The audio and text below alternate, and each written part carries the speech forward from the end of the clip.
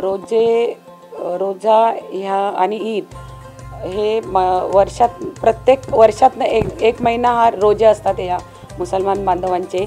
मुसलमान बांधव हे पनवेल शहरातील जे आहेत ते माझे मी तर म्हणेन बंधूच आहेत आणि ते आम्ही सगळे एकत्र मिळून रोजे ते लोक रोजे जे करत आहेत ते आपण जसे हिंदू धर्मात श्रावण महिन्यात पवित्र स्थान महिना समजला जातो. तसाच हा रो रोजे ईद हा महिना त्यांचा जो असतो रोजे जे ठेवत आहेत तो महिना त्यांचा असतो तो पवित्र समजला जातो.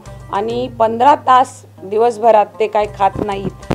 सकाळी पहाटे लवकर उठून काय खायचं ते खाऊन घेत आहेत आणि पुन्हा संध्याकाळी जसा सूर्य मावळायला लागेल तसं ते पुन्हा खाण्यास सुरुवात करतात.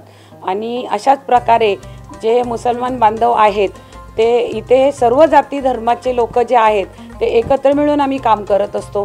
आमचे नगरसेवक असतील आमचे आमदार असतील आज आम्ही आमदार साहेबांच्या बरोबरीने सर्व मुसलमान बांधवांना प्रत्येक मशीदमध्ये जाऊन गुलाबाचे एक पुष्पगुच्छ देऊन त्यांना शुभेच्छा देतो आणि अशाच प्रकारे मी माझ्या मुसलमान बांधवांना संदेश देईन की प्लास्टिक बंदी व्हावी स्वच्छता अभियानमध्ये भाग घ्यावा.